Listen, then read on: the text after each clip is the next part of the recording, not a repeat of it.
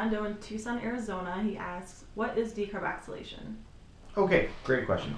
Decarboxylation, um, if you picture a molecule as a carbon chain, it's a bunch of different things stuck together. Decarboxylation is knocking the end off that carbon chain, and so it's literally releasing CO2 as it breaks off. If you um, if you've ever smoked hash and noticed that it's bubbling as you're smoking it, you're actually watching it decarboxylate. And um, the in terms of the you know rubber hits the road, what does it do? It causes THCA or CBDA to convert to THC or CBD. And when, in the case of THC, that's what makes it psychoactive. So when the plant's growing in the ground, you're not looking at THC, you're looking at THCA. And it's only once it's been exposed to heat that it decarboxylates and becomes THC. And that's the process of making it psychoactive. So uh, it sometimes gets referred to as activating the medicine or turning the plant on.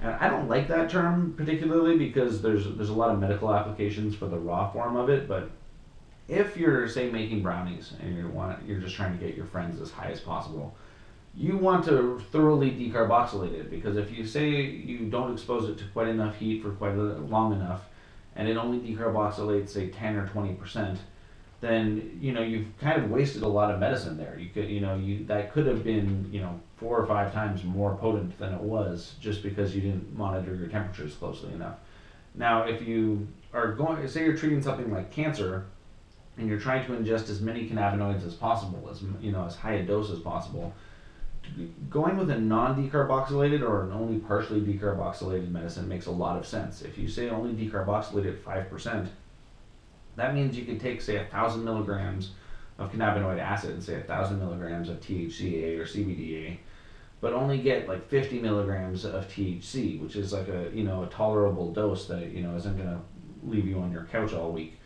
And so that's you know that's it it's one of those things that it really depends on your medical application for it, but it's you know it's it's something that you want to very closely monitor in the process of processing the medicine.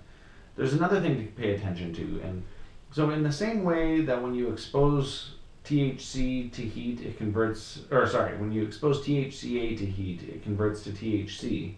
When you expose THC to heat, it converts to CBN. And CBN is a powerful sedative. And so, I, you know, I, if you've ever tried medicine that really made you go to sleep, and you know, it's just really hard to stay awake for it, then you know that often gets associated with an indica versus sativa.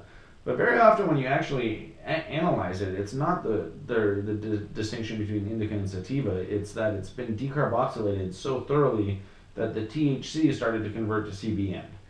And once you get a, beyond a 70% decarboxylation, the THCA, or sorry, the THC converts to CBN at a faster rate than the THCA converts to THC. So you actually start to see a fairly dramatic drop in THC beyond that point. So if, if that's what you're going for, if you're, you know, treating a sleep disorder or, you know, you're trying to have it help you fall asleep, it makes a lot of sense to, you know, try to make a bunch of CBN in there. Um, if that's not what you're going for, if you're trying to stay awake and just enjoy the experience of, you know, the THC, then you're not trying to push the limit of how much decarboxylation you can go. You're, you know, a 50% decarboxylation might be the sweet spot for you, and you want to experiment with that. And part of, you know, it's it's pretty hard to get feedback in terms of what what you're looking at with it, without getting it tested. And so that brings us to the testing aspect of the of decarboxylation. Now, for a long time, the, the machine that was used to perform the analysis was called a GC or a gas chromatograph, and that uses heat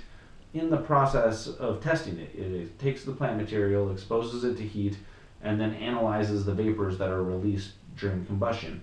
So when that was the only machine that was being used to test it, we didn't really know about the cannabinoid acids. We didn't know about THCA because it was by the time the machine was testing it, it had already been exposed to heat. There's a, another machine that gets used now, and some labs are using it, others are still using gas chromatographs. But the other machine is called an HPLC or a high pressure liquid chromatograph and that one doesn't use heat. And that so it, it allows you to test for the cannabinoid acids. And that makes a lot of sense if that you know if it's something you're trying to zero in on.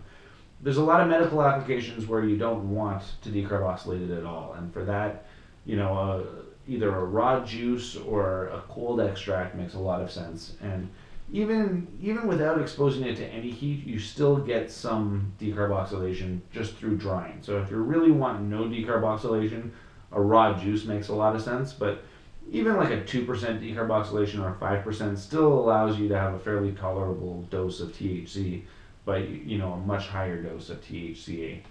So that's a that's a long answer, and it's more. It gets even more complicated the more you dive into it. And you know, we'll we'll cover different aspects of it in the process of you know teaching people how to make the different extracts. But in terms of a definition, that's decarboxylation. Awesome. Thank you.